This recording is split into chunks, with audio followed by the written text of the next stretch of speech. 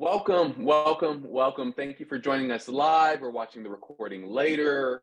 Uh, welcome to our fifth week as we move through this spring season of the Beth Bond Memorial Book Club and we journey through the book Refugia Faith, Seeking Hidden Shelters, Ordinary Wonders, and the Healing of the Earth by our good friend Deborah Rienstra. Uh, this week is not our last week of book club. This next week, Deborah herself will be joining us live. And so we're very much looking forward to that, where you will get a chance to interact with her, ask her your questions, tell her your comments and concerns you have. Um, she's going to join us live, and I can't wait to do that. Uh, this week, however, is our last time working through content from the book. We're finishing with chapters six and seven from passivity to citizenship and from indifference to attention. So, as is our custom, I will open us in a word of prayer, and then we're going to start in scripture. So, if you want to meet me in the gospel account of Mark, that is the gospel account of Mark in the first chapter, you can just turn right to the first page, unroll that scroll, that codex. We're going to meet in Mark 1. That's where we'll spend our time. Um, I'm going to try to give you more time in breakout groups today because I know there are two chapters. So I want to try to give you a full 30 minutes today. I will do my best to condense down a little bit of the context and framing for today. Uh, so with that, I'll open us in prayer. We'll dive into Mark 1 and then we will go out to our breakout groups. Heavenly Father, we thank you for this day. We thank you for your grace and your mercy and the good news that is your Son, Jesus the Christ. We thank you for the good news of the work that was done on the cross as we sit here in this time of Lent, where we turn our attention to and reflect on the work of the cross. Lord, we thank you for the good news that what we see around us is not all that there is, that there is more to come, and that you will provide a true day of justice and restoration and reconciliation. So, as we sit in this already time waiting for the not yet, Lord, we just seek to do your will and see your kingdom come here on earth as it is in heaven. We do all this in the power of your Holy Spirit and in the name of your Son, Jesus the Christ. Amen. Amen. Okay, well, let's jump right in. And as a reminder for those of you that haven't been able to be live with us for each week or you've been catching some of the recordings, I want to catch us up to where we are at the end of the book. We started very early on talking about kinship and healing, and we looked at the passage in John 5 where Jesus heals. And, and we talked about this idea that maybe sometimes in our own lives, whether it's dealing with the climate crisis or other parts of our lives, what we're looking for is ritual. We're looking for something, something to do to fix our lives. And when that maybe doesn't do it, we might turn to a religion, not just capital R religion, but a way of life seeking change ultimately, what Jesus is calling us into, as we saw in that passage and throughout the gospel, is relationship.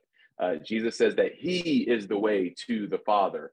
Um, and so, what we're looking for, or what we kind of get when it comes to kinship and healing, is maybe the opposite of what sometimes we are looking for. We get relationship with Jesus, and that transforms the way we live our lives, and then that transforms how we act in our in our lives. And so we really want to be focusing on that relationship piece. And then we took another step forward and we talked about lament and why it's so hard sometimes for us to lament. We looked in the Hebrew Bible at the book of Lamentations and that question of how, how God, how did things get so bad and so broken?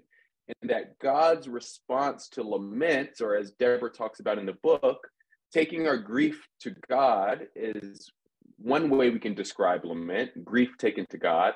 And that when we do that, when we lament and we repent, we turn, that God has an ultimate plan for restoration. And we looked at that through the lens of both the Hebrew Bible and what Jesus has to say about himself in that new creation. We looked at some of Paul's work on that as well.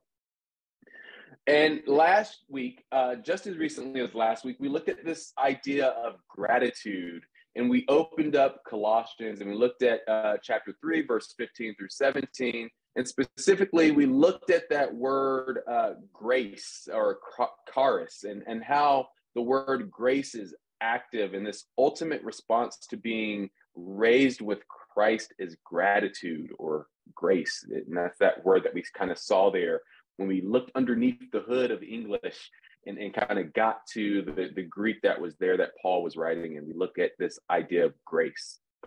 And so today, what I'd like to do with our time as we're looking at citizenship and attention is go to the gospel account of Mark I think what we're going to find are a couple interesting things just to kind of bring all of this home and close out our time. So we've talked about relationship and relationship with Jesus uh, transforming us and restoring us.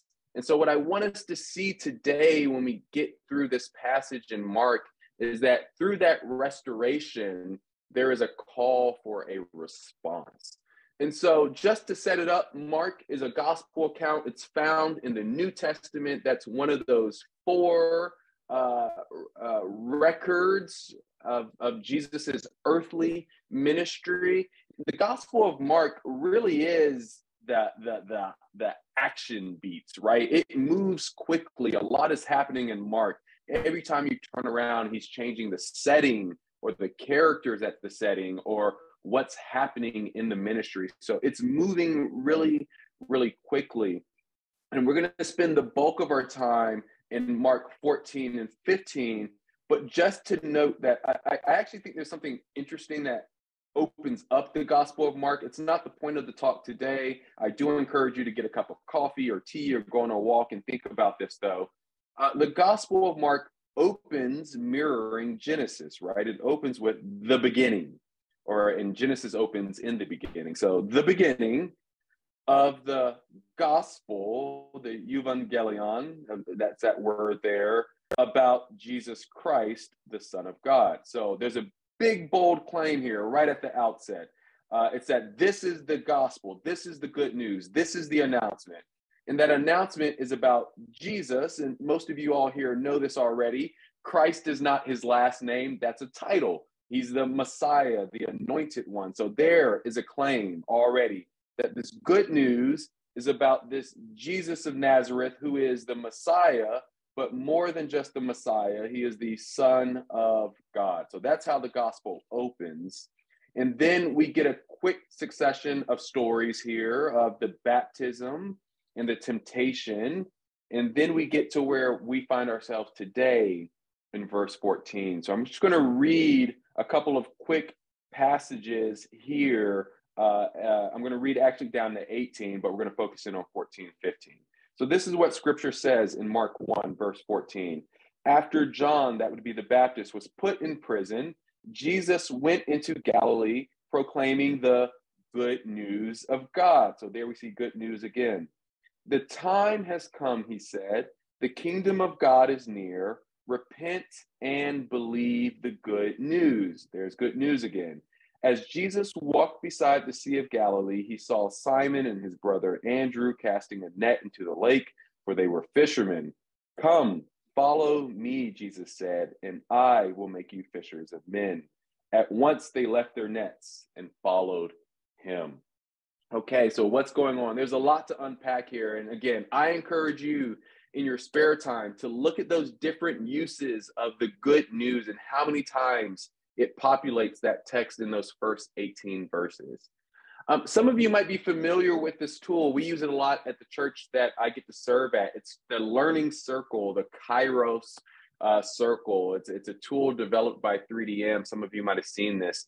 And essentially, what this tool helps us do is unpack something important, and that's this Kairos moment. I read in verse 14 and 15 that Jesus announces when he gets into Galilee and starts preaching, the time has come. Now, I'm not going to go into the Greek today and pull out the interlinear, but what's important to know is that that word time that we have in English is really the Greek word kairos. And there are a couple different ways that you can talk about time. There are a couple options that Mark had when he was writing this in the Greek he could have used the word chronos or chronological time, right? This idea of moment after moment kind of preceding and anteceding each other.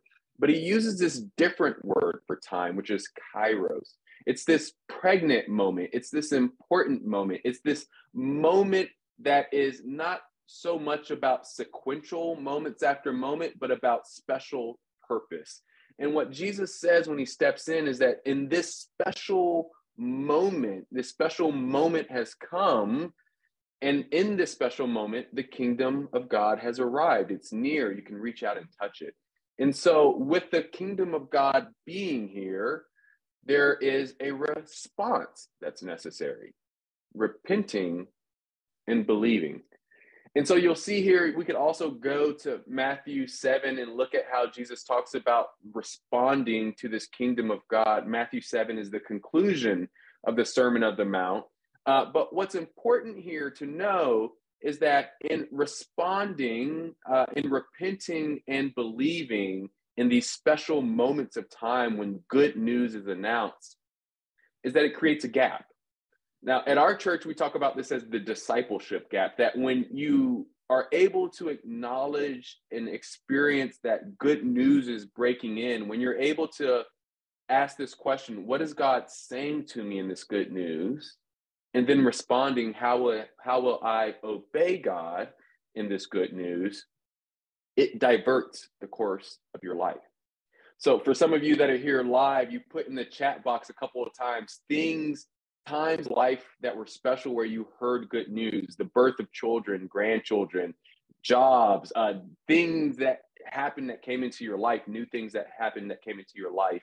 What you will start to notice about these good news moments is that if they're truly good news, they divert your life into a different direction. And so, maybe a couple of ways you can think about this today, a couple of points here is that what we're being called into as citizens in the kingdom of God here is to turn towards the kingdom and live a transformed life. Oftentimes in America and the West, we kind of have this smaller myopic view that what we're being called to is a church, right? We're being called into the ecclesia or we're being called out as the people of God. We're being called to church. And yeah, yeah, we are. We're called to doing life with one another as the body of believers. Yes, that's true. But I want to notice, I just want to stop and reflect in this moment that when Jesus announces the good news, the good news is not that the church is here, right? The good news is that the time has come and the kingdom of God is near. And so we're called to repent and believe. We're called towards the kingdom and to live a transformed life. That's bigger than the church. And so, as we're turning towards the kingdom, we also have to turn away from the empire in the way it calls us to live. Here, literally, in the Gospel of Mark, Jesus is calling these first disciples away from the way they were living. He said, You were fishers before, you're in a boat fishing. I'm actually going to make you fishers of men. He's not just calling them away from a job, he's calling them away from an identity. Their vocation, their purpose was doing this one thing, but if they're going to follow Jesus, it's going to be this not just entirely new thing, but transformed thing. You see that? He's going to make them fishers still, yes, but fishers of men. He's transforming them through their response. But he's also not just calling them away from their jobs and their identities as fishers, in that context, he's actually calling them away from their family. They're leaving their father, they're leaving what they know behind for this new family, this new way of living. And that's as citizens in the kingdom of God. And that's going to require their full attention. And so then maybe that takes us to our third and kind of final bullet point. If you're a note taker type, uh, kingdom citizenship will always require attention to and service for the least of these. Now, we could go to Matthew and, and talk about that Sermon on the Mount and notice maybe, observe maybe that he opens Jesus with the Beatitudes, that is the blessings, and he's saying who is blessed in this kingdom. If we're going to live this kingdom way, here's who is blessed. And we could spend a lot of time with that. I could do a whole sermon on that. But I really just want to focus in on Mark because that's where we are and look at 17. Come, follow me, Jesus said, and I will make you fishers of men. The following of Jesus isn't just for our own sake. Yes, we are individually following Jesus, and that's what he's calling us to, but it's in the service of others. Being in the kingdom of God is maybe importantly so in the service of others. And, and maybe importantly, we could say it this way the call to follow Jesus and follow Jesus well is requiring us to give attention to others. And maybe you grew up in a tradition like I did, where that was not maybe the focus. Maybe that focus was a little anemic. Following Jesus was about my sins, yes, and giving my life over to Jesus, yes, and then just trying to follow some rules and wait things out until Jesus comes back. But I, I just want to notice here in Scripture, and we're going to focus on Scripture. This isn't about what Marcus says, it's about what Jesus is saying here. I will make you fishers of men. It's not primarily about our own individual selves, it's about others. And so, this citizenship in the kingdom requires our attention to and service for the least of these, for others. And so, I just want to leave you here with that thought as you go into your breakout groups. I know that we're at 1220. Uh, that's perfect. We're going to give you 30 minutes. Jamie's going to send you out to breakout groups momentarily. We'll come back at 1250. But I want those three points to really color your conversation about the chapters on citizenship and attention because it's how Jesus frames and starts his ministry. This is the good news. The time has come. The kingdom of God is at hand. Come, follow me so that I can make you fishers of men, so that you can respond in a way that is helpful for others. So that's what we have. We'll go, Jamie, if you can send our friends to breakout groups, we're going to come back at 1250. We'll debrief some, uh, allow some of you to come off of mute to share, and then we'll talk about next week in our last steps for this season.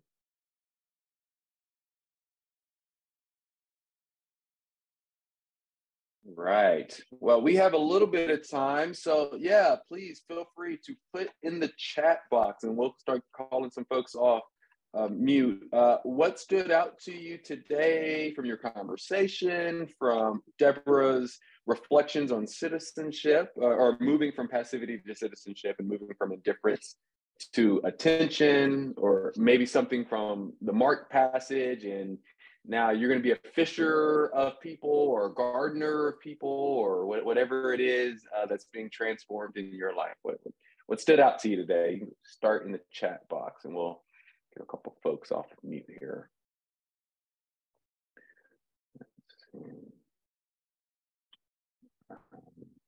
Yeah, Brad put in here sharing with us, starting us off in John 3:16, very familiar. For God so loved the cosmos. Uh, Oh, that's different. I, that you zigged where I thought you were going to zag, Brad. Uh, talk to me a little bit about that. So, not for God so loved the world, but He still loved the cosmos. Talk to us about that. Yeah, Rick uh, Gasaway pointed this out, and I, I remember it. Uh, the word used there is cosmos, actually, for God so loved, and then sometimes that's used for world, but sometimes it's used for more. But the significance is it's not just God so loved people. Um, so everything's everything's a part of this. Uh, we, yeah. we we discussed this in our, our small group Bible study, and one of the other people didn't hadn't heard that. So I said, "Well, why don't more people talk about that?" And I said, "Well, actually, I'm writing a book on that." So another fellow in our group that knew that I was said, "So, uh, do you want the short answer or the 400 page answer?" There you go. I love it. Well, we'll take both, and who knows? Maybe when you're done, it'll be a season of the Beth Bond Memorial Book Club, and we'll have you talking uh, about that. So that uh, thanks for that insight. I, I, bet that was a really good discussion there. But yeah, uh, just the idea of how even in our minds, if we're not careful and we're not intentional, we can narrow the scope of what God is doing, right? We put God in boxes. Um, our language doesn't always help us, but maybe more so our hearts, because yeah, even reading "For God So Loved the World" will make that about people. Like people is what God is saying. And he's like, no, like that's not the language. So thanks for sharing that. Others, what what stood out to you from your discussion today, or your conversation, or your reflection and reading? Wrestling with what Deborah has here for us. A few moments, or if you just want to come off of mute and share, you're welcome to do that as well. You don't have to type it in. Go ahead, David. Well, uh, in our group, we spend a lot of time talking about citizenship, and uh, I, I heard really very interesting ideas. Uh, one that uh, I think John was making the point about the um, culture that we have and how more so in the United States, the uh, the culture about the individual. We're a very individualistic society, and we were talking about how difficult it is to to understand the concept of community, you know, the, the we, the we are in this together kind of uh, idea, right? Yeah. Yeah. That... Barry, Barry or John, John or Jan, Janet, if you want to add something. Please, yeah. Anyone want to add to that from that conversation or their reflection on that conversation? Yeah, I was just, uh, John gave us a lot to think about, about um, the idea of humans being designed for, for community and relationship and uh, I guess ultimately citizenship. Um, and, uh, and David also um, talked about the importance of language and how we have to really um, pay attention to the barriers that the language that we use sometimes creates um, in terms of communicating these these ideas. Yeah, that's good. That's so good. Um, so many different places to, to go off there and, past rabbit holes to maybe chase down. Um, a, a, few that just kind of strike me though in that conversation. Uh, one is just a, a, teaching technique. Usually, when I'm meeting with evangelicals and we're looking at uh, something that Paul has written, so uh, some of the epistles or letters, I just regularly, because I'm in the South, just say y'all instead of you there uh, to help kind of reframe into that community. So a lot of times people say, yeah, Paul says you have to do this. And I was like, nah, he's actually saying y'all, like y'all, y'all got to do that. You, you collective group of folks need to do that. And so I, I have found that to be very helpful. But uh, uh just that idea of language. And so and we looked at Mark today and a little bit of Matthew, but in Acts, this was something that was shared with me that was helpful in reframing. Um, so if you look in Genesis and the Tower of Babylon story there, or Babel, um, you see the not just scattering of the peoples, but the languages and kind of what that does in, in rupturing relationships between y'all, us, people and then in the uh, in the story in Acts at Pentecost, where you see the people coming back and the Holy Spirit being poured out, that they're all able to understand and hear in their own language, and kind of this reversing of Babel in some very important ways. That language is no longer going to be a barrier to unity and community of the people, and then ultimately in Revelation, you kind of see the the ultimate expression of this, where it's all nations tribes and tongues, right? Uh, that kind of ultimate fulfillment of that that you see in Revelation is not that there's a uniformity of the nations, the tribes, and the tongues that in their diversity, they're going to be there worshiping God. And, and that's kind of that reverse picture of community that I love. So, um, with that, we have a couple minutes. Uh, be thinking, and you'll get this in email later as well uh, be thinking of questions you have for Deborah. And if you want to send those to me ahead of time, uh, if it's a particularly naughty question or, or, or, you know thorny question that you want her to be thinking of ahead of time, you can email those to me. I'll get them to her ahead of time. But also, we're just going to spend time with her like this, just in conversation. So no breakout groups, one big group. We'll talk with her. Uh, next week will be our last week of book club. With you're with us live or joining virtually. We'll have a film. Our film festival is happening in April. I'll have more details for that down the line. Um, and then alongside the film festival, there's some summer of action stuff. But one quick note you're hearing this first. You're literally the first people to hear this. Uh, book club in the fall. We're going to move it to the evening. So we're going to change our rhythm a little bit uh, because while lunchtime is a great time for a lot of folks, especially in the East and Central time to gather, uh, the evening opens up a little bit more flexibility for more people. And importantly, what we're going to try to do is you can join us like this, how you are now, and be a part of a breakout group. But we're going to invite folks to gather in threes or fours wherever they are. Do the first part like we do together, and then instead of going into a breakout room, you just gather with the two or three or four folks that are there with you. So um, Diane's been in one of those rooms with me live before, where we've been together in a group with three or four people. Uh, and so we're going to try that in the fall. So just so you know that you're hearing it here first, we are going to do book club again. We are going to shift it into the evening window frame. And the invitation there is for you to join us either as you are now or have three or four people in your living room, or in your church or your congregation, your community gather together. And then that be your breakout group. And then we come back. So um, with that, I'm going to pray us out uh, here, and then we will move into the rest of our weeks. Father God, we thank you for this time. We thank you for this conversation. And we just ask that it be glorifying to you, that what's from you in your Holy Spirit and what glorifies your Son, Jesus, the Christ, uh, let that stick. And what doesn't, Lord, what's not from those things, we ask that it just fall away. Uh, and we do all this in the power of your Holy Spirit in the name of your Son, Jesus. Amen. Amen. Thank you, everyone. Bye.